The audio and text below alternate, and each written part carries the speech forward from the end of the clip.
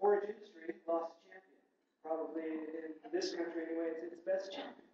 Um, many of you were fortunate enough to, to know John Baylor. Uh, it's a name, certainly if you don't know him, you've heard the name, you've recognized it. Uh, so he was probably our best advocate as an industry. But more than that, uh, he was a loving husband.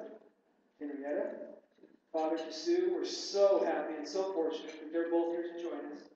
Um, and we want to do a special presentation, but, but rather than I do it, uh, we thought it best to have a longtime friend of John Baylor, Dr. Garry Lacefield, um, come and, and share some words with us. So, Garry, I'll turn it to you.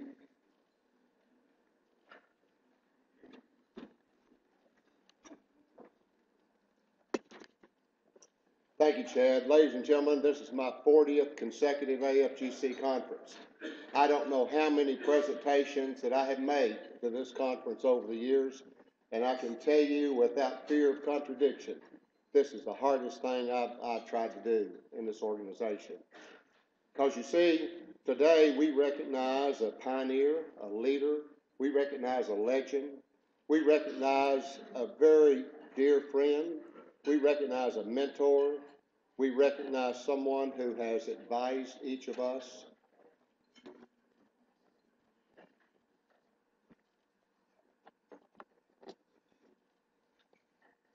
Now, Chad, I'm not sure which button is working here. I, w- I was fearful of this when they were dragging those cords up here. I just need to advance it. Oh, okay. Okay, yeah. It's important to know what button to push. On May the eighth, two thousand thirteen, the Forage World, and I do say world, not just Pennsylvania or not just the US, but the Forage World, uh, lost a true pioneer. And we as the American Forage and Grassland Council lost our leader and our founder and our most faithful member. The American Grassland Council was formed to involve all three segments the scientist, the producer, and of course, industry. John Rogers has already told you about what John Baylor did in Pennsylvania. Had it not been for John Baylor and his leadership, we would not be meeting here today. Had it not been for John Baylor and his leadership, we would not have the Forage and Grassland Foundation. And those are just a, a few of the things. He was AFGC's very first president. This is the AFGC first executive committee taken in 1968. National Grassland Field Days. John was the leader in, in establishing and served as chairman of the Grassland Field Days. And indeed, this was the first one, but there were more, more to come. This was during a transition period uh, in the life of this organization. John always liked to hang around pretty women. That's why he chose Henrietta. But this was Miss, Miss Milkmaid. And I want to say a very special thanks to Tina Bowling, who spent hours going through pictures and putting this presentation together. If silage was going to be a, a part of our forage program, we had to get scientists, uh, industry, and farmers together to find some method of solving the problems. The conferences began with just a basic group of scientists. As things progressed, they realized that industry had to be involved. John further realized that without the farmers, uh, there could be no organization. So that's how all three sections. The approach to, to getting more people involved, to getting more information out, came in the form of, of workshops around the country uh, and uh, meetings that, that gave us an opportunity to talk more about quality silage. The 1974 uh, AFGC conference, this is uh, most of the board of directors. Now we're starting to get a few people that some of you in the audience will start recognizing uh, in there, including uh, both John and Warren on the front row.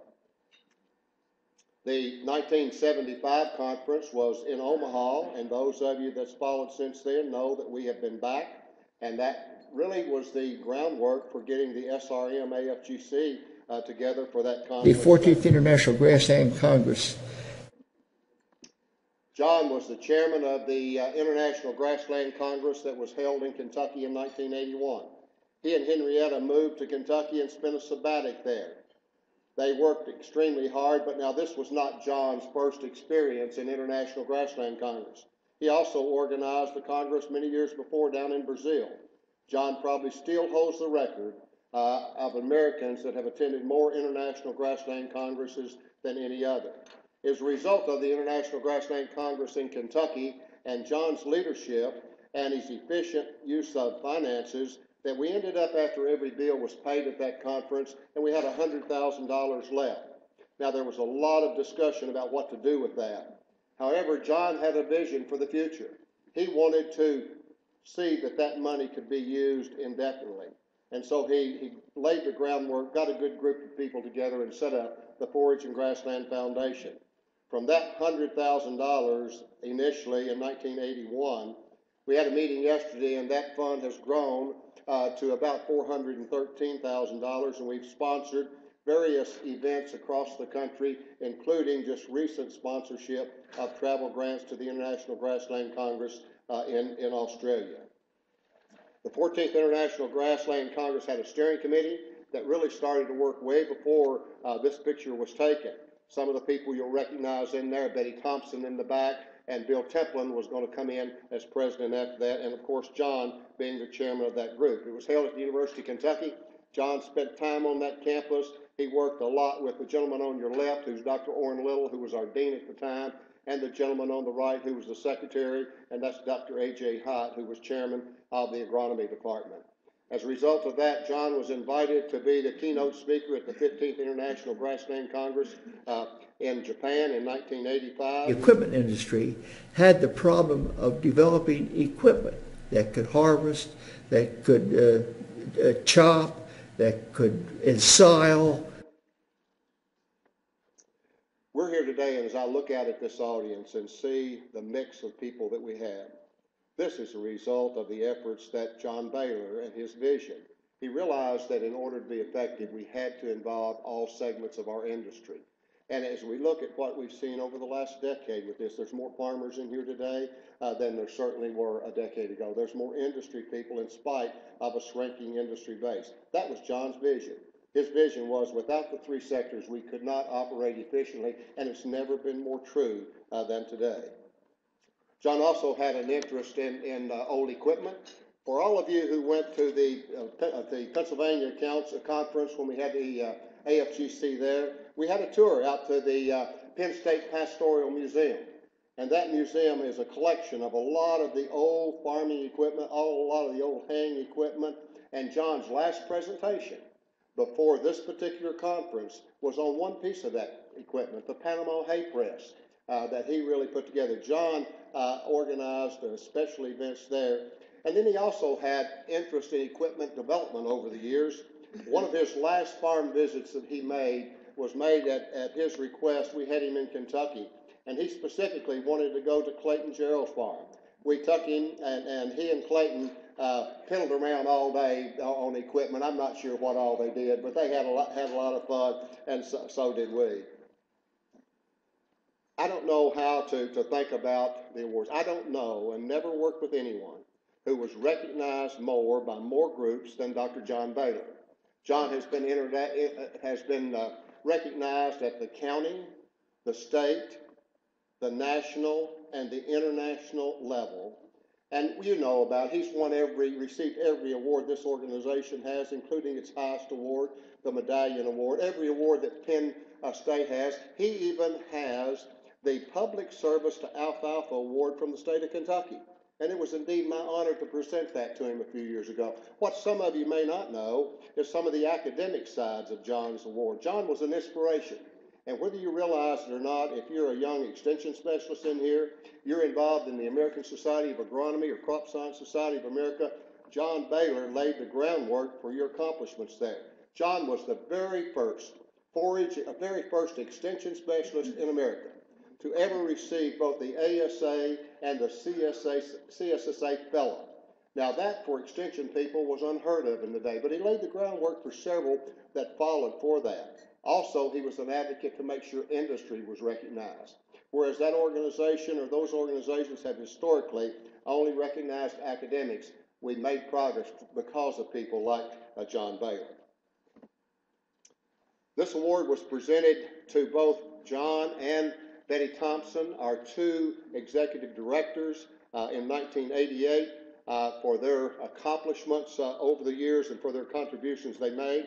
Just recently in Louisville, Kentucky, at the American Forage and Grassland Council, John was presented with the Vivien Allen Illumination Award. Bill Tucker conceived this idea, and, and uh, the, pre- presentation was made, and uh, John was there to receive that, and we, uh, we were delighted to see him.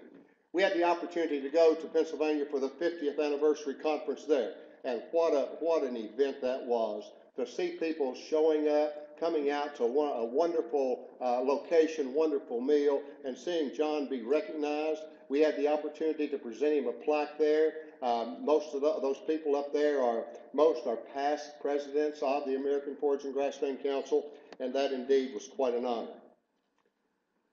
The American Forage and Grassland Council was extremely fortunate to have John Baylor serve as his historian. John wrote the, the first 50 years of this organization. That exists. There's a copy of it in the silent auction. If you haven't read that, I hope you'll bid on it. And if you are unlucky and don't get that, you see me or you see Tina, and we'll loan you a copy. It's outstanding. And as a result of that, we, we asked John to do that in 1988 and appointed him as historian in 1999. And then we realized a few years ago we had a lot of other material that's accumulated since then. And so we had the idea of, of, of doing an oral history. And John agreed to do that. Uh, and we made two different trips to Berea, Kentucky, worked with Pina, and she, she and Mark were delightful hosts to host us there. We did that, and uh, that taping has been finished. We had one more trip planned there for this past, year, which unfortunately uh, we didn't get to make.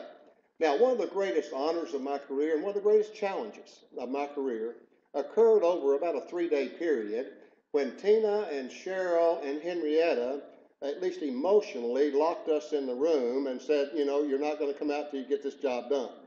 Now, I didn't know John was such a hunting man until we got doing that taking. He chased more rabbits in those three.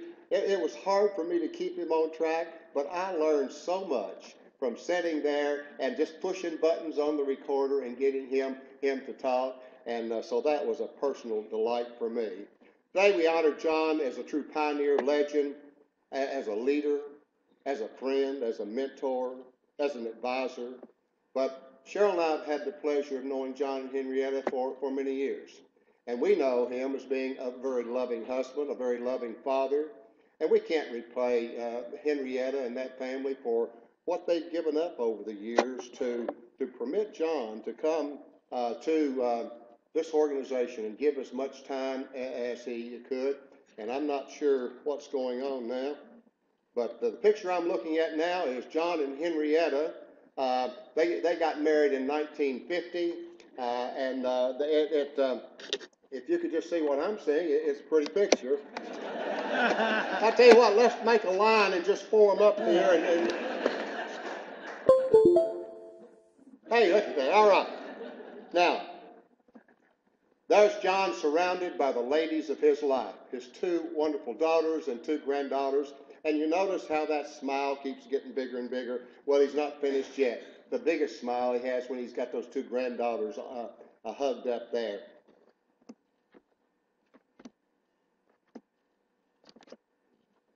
It's difficult to, to put this slide up because we'll never say goodbye to John Baylor because his legacy is going to live on. Yesterday at the and Grassland Foundation, we had received a check from Henrietta for um, contributions to the foundation. We spent considerable time as a foundation deciding what we wanted to do. There was no way that money was going to go into our general account. So the decision of the board yesterday of the Forage and Grassland Foundation was to start a national scholarship in honor of John. The foundation went further to say that they're going to do that and they're, they're going to match this year up to $15,000 for anyone else that makes a contribution to that. One hundred percent of all the revenues and all the money going in there will go to scholarships. It'll be go for a, a national one.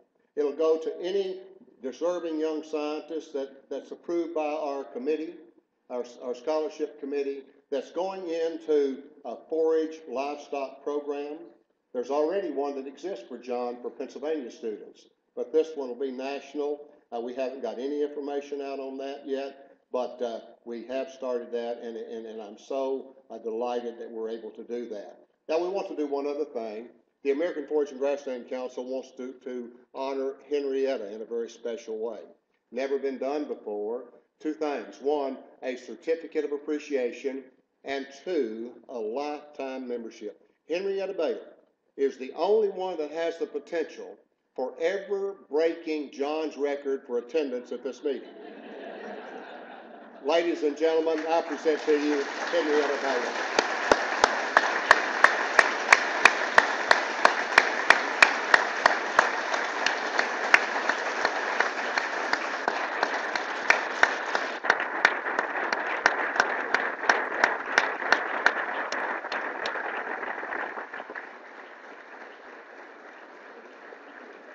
Henrietta, uh, you and Sue are the daughters. Look around, look around the room. Get another Kleenex out. Okay. Folks, thank you so much. Uh, we're right up to the time that we need to go to the next session. And Chad. unless you have something else, I, I conclude that.